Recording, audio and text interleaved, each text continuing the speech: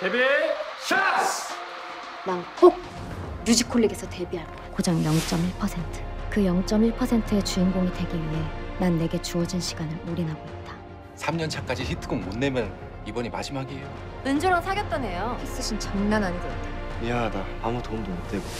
제43회 백호 영화제 신인 남우상 수상자는 축하해. 그리고 나를 아리마야. 진짜로 연애 금지 사항도 없어요? 다 알잖아요. 그거 막는다고 막았습니다. 넌 걸그룹 하지 마. 언제든 전화해. 혼자 삼키지 말고. 언제든. 우리 무대 이렇게 끝낼 순 없잖아.